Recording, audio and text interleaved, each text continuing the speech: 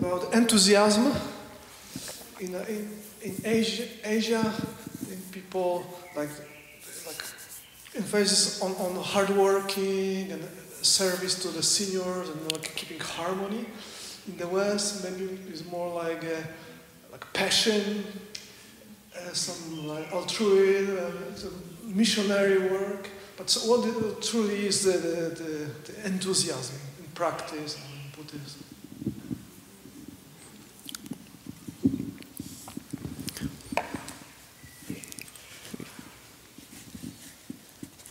You know, people put their, we make an effort in different ways. If you don't make any effort, then soon you'll die. You know, even if you want to eat, you have to get up and go get some food or go to the kitchen. All babies naturally have this effort to live. So if they're uncomfortable or hungry, they cry. Actually, you probably notice little children can scream so loud. Like a two year old can scream way louder than an adult because they do it 100%. And they're not thinking about, I'm going to do this 100%. They just really do it, their whole body. I saw Seung Sahn Sunim that way. Sometimes when he did something, it's like whole body was doing it. And it was natural. He trained himself that way. And um, so what's important is where do you, what, what is the direction of your effort? I think in East Asia, the tradition of filial piety was, is really strong, still strong. In fact, what I've heard is in Chinese society, when you make a baby, the baby's job is to take care of me when I get old. I'm so glad my parents weren't like that. I think uh, Western families sort of have that, but it's not as codified. It's not in a code as much. I mean, the Ten Commandments say honor your parents, but they don't say live with them forever and take care of them. When I worked in the mental hospital, we often had firstborn women who grew up in Italian families, and they had become crazy because their family gave them the message your job in life is to stay home and take care of me when I get old. Then, when they're teenagers and they become interested in other things, they have to repress it. And then there's this battle inside between this idea you get from parents or society and what you kind of more naturally want to do. So, yeah, everybody, cultures and individuals uh, put effort in different ways into their daily life. And depression is kind of where you've, um, you've blocked off your uh, effort in a certain way. Uh, and I'm sure there's many reasons why that happens. Uh, feelings that I'm not going to get what I'm after anyway, or there's conflict with society, or especially when you're young, family, between what you're sort of naturally enthusiastic and what's acceptable. Uh, you can see, you know, Korea, we're in Korea, and uh, Korea, Korean people, I don't know the young people, but Korean people, the older people, work really hard, much harder than most of us who grew up in the West. Now, I don't know Poland because Poland was destroyed during the war too, but it rebuilt. And Korea was destroyed during the Korean War and oppressed by the Japanese occupation. And it's like the 11th biggest economy in the world now. And it's a fairly small country. So sometimes when the uh, uh, Westerners come here and they have to work in the kitchen, they're kind of shocked. And they, they can't follow what some of the Korean people are doing. Because Koreans, they just grew up working really hard. Like I said, I don't know what the younger people are like now because they grew up when the country's already successful. And I think what Seung Sahn Sunim's generation and maybe the generation after that, they lived to survive. But now people live for satisfaction. And there's a different motivation then. They're both worthwhile. But when you live to survive, you either are enthusiastic or you die. when you live to, for satisfaction, you can find ways to survive even without being satisfied. So, uh, one of the six virtues, uh, the six paramitas in Buddhism, is enthusiasm, putting your effort into the present moment. In fact, Buddha said there's five hindrances to meditation. The first one is uh, sleepiness, you know, everybody kind of experiences this sometime during the day, morning, night, mid afternoon, maybe for you, all day long. You're like, uh.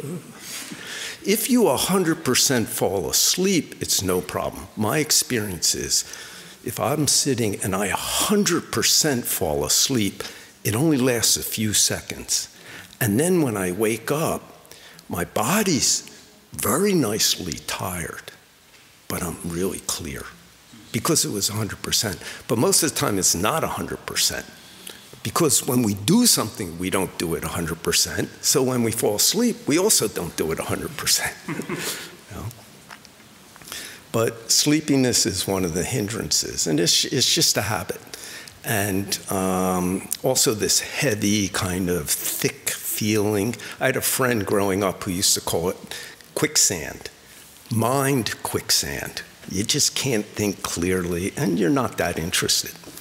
And Buddha said the cure for that, the English translation is initial application. It just means try. You know, if your job is sit, sit.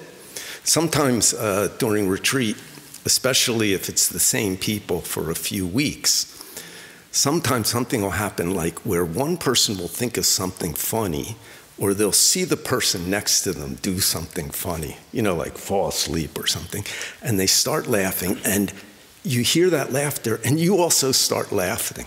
I remember this happened at Shinwon Sa, and like it's kind of spread around the room. And Su Bong Sunim was the teacher that time. He was sitting, and he said, bite your tongue.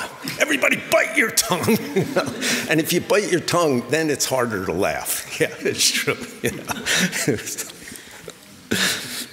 I had a real entertaining night one time at Shinwonsa about 30 years ago where there's a very tall, thin German monk, and he was falling asleep, and he was like two or three people down, and nobody came and went during the three months. And we didn't have any temple jobs except cleaning our area. We didn't cook the food, we didn't shop, we didn't take care of guests, nothing. Just retreat, keep our area clean. And we didn't talk much, and we all lived in one building. So there wasn't much entertainment. So this was like real, it was like watching a TV series for me, watching this guy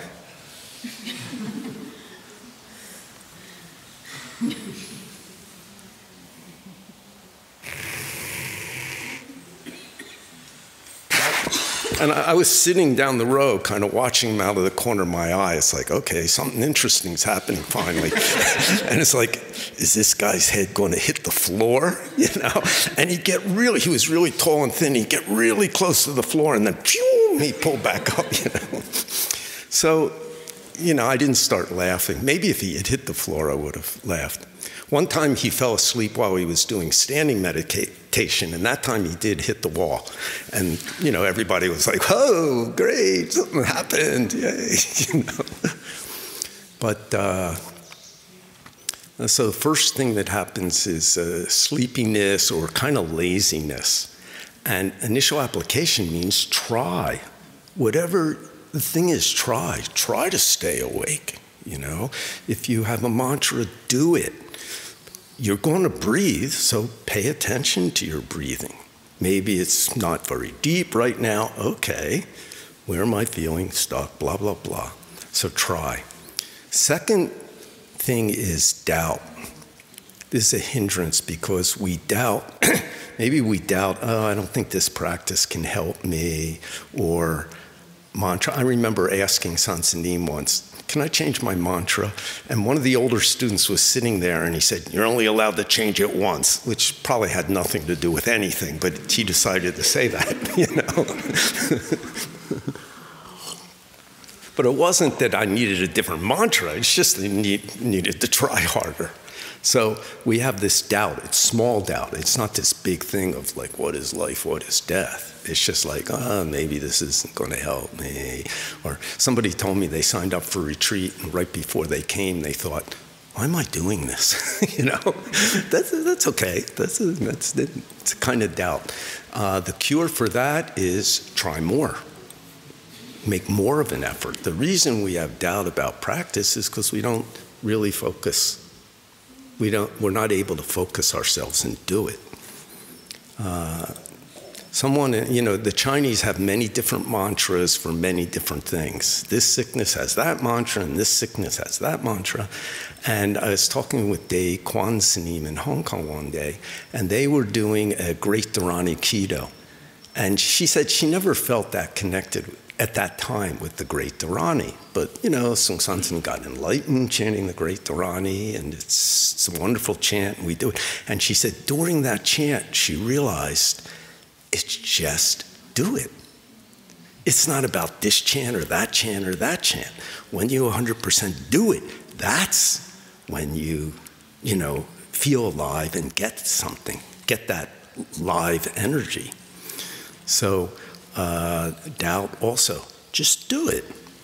Then the third thing, uh, hindrance that appears, is we have bad feelings towards others or towards ourselves. And these things happen in everyday life too. You know, you have some career, I don't like it.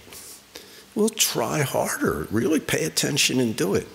You'll either find, my experience is, every profession has some shit every single one that you do has some crummy part to it. So that's just life, you know.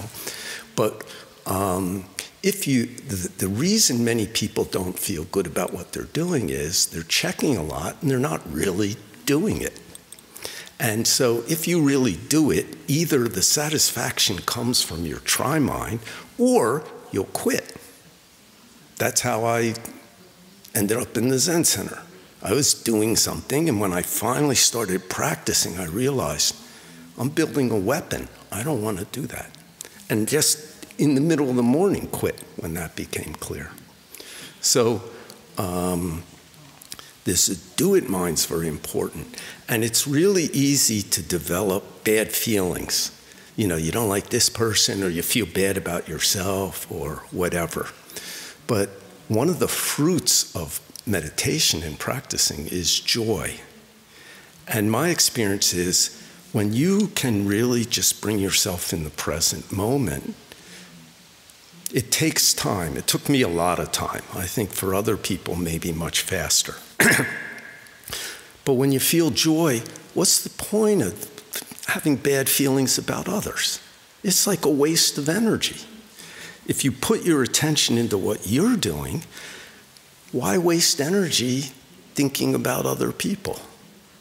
It's, it just doesn't make any sense. So then it's easy to drop this mind that wants to make bad feelings about others. Just do, do what you're doing. Do it. There's a certain joy that comes from that. When you only aim at the result, you know, sports people, sometimes they say, well, I play because I love it when they are focused on the money or the success, then it's not quite as wonderful.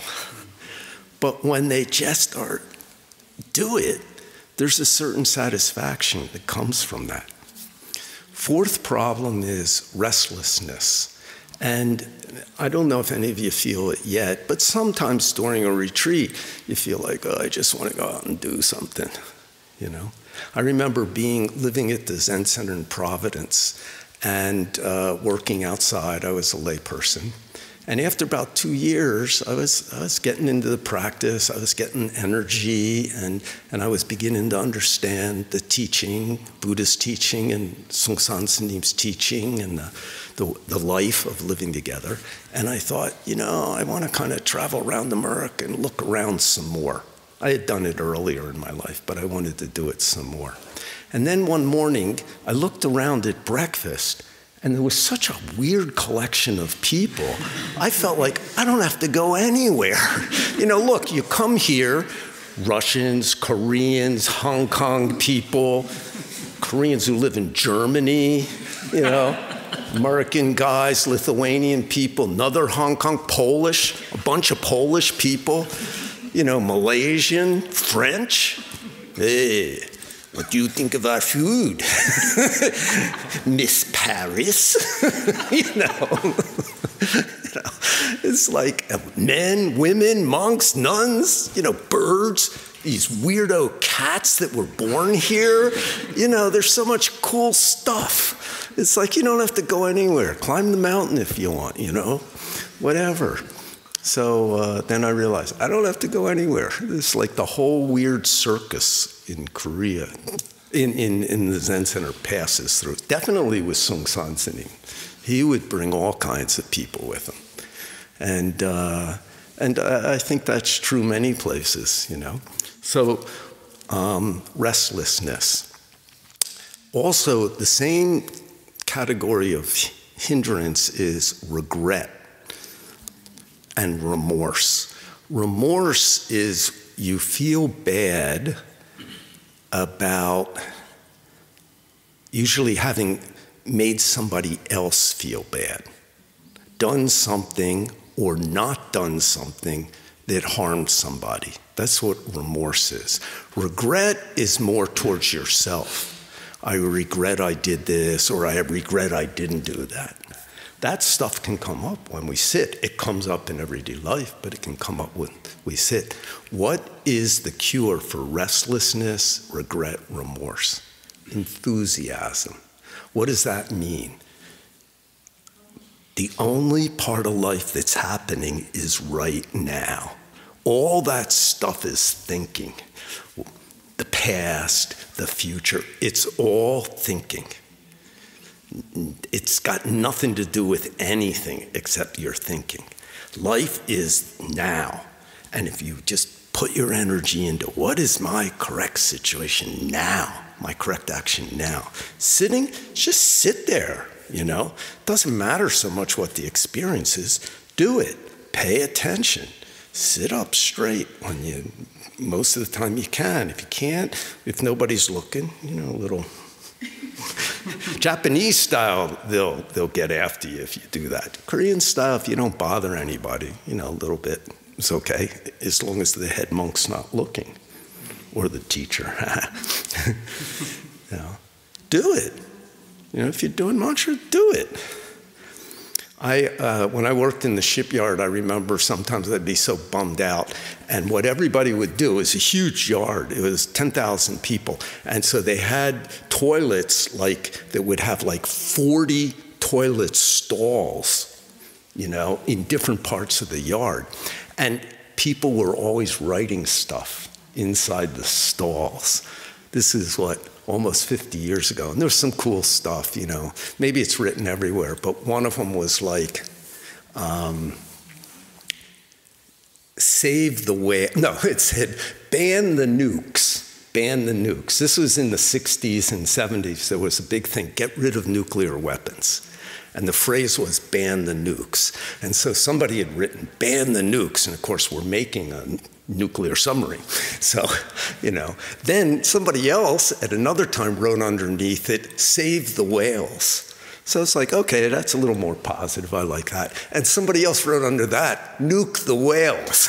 you know? So, like, you could go into the bathroom and hang out for 10 or 15 minutes, and you didn't want to go to all the stalls in one day or one week. You wanted to give yourself some candy for the future. So I just, I didn't have to go to the bathroom. I just didn't want to work. Go in there and read the stuff, you know.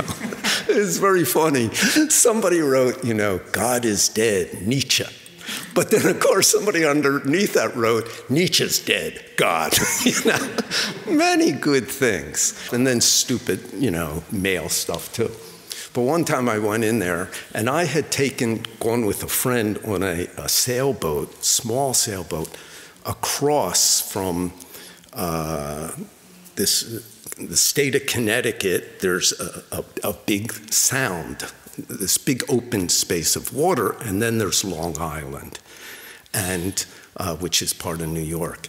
And we got out there. I had never had this before on a small boat, and couldn't see any land. And it was amazing. We were in this little boat, and his father was sailing, and his father only had one arm. He, had lost an arm in a war or something. And and then I started diving off the boat and swimming back to it and think if the boat went away, I'm dead. I don't think I can swim back to shore, you know. And it was so cool. And so one day when I was bored at work, I went in there and I wrote this whole story down, you know. And somebody, of course, wrote underneath it, like, ha ha, you know, kind of like, that's not where you are, dude, you know. so, um, anyway, enthusiasm. You know, putting your energy into what you're doing. And that takes away regret and remorse about the past because you're doing what you're doing. And so enthusiasm is important, you know. And it just means make that effort. It's one of the six paramitas. And make the effort and in Buddhism, you want to find what is the correct situation, function, relationship do it. Not just what do I want to do, but what really fits my situation now. And do it. Yeah. So everybody has different levels of uh, enthusiasm that they bring to life. And you can adjust that. It's just uh, effort and attention.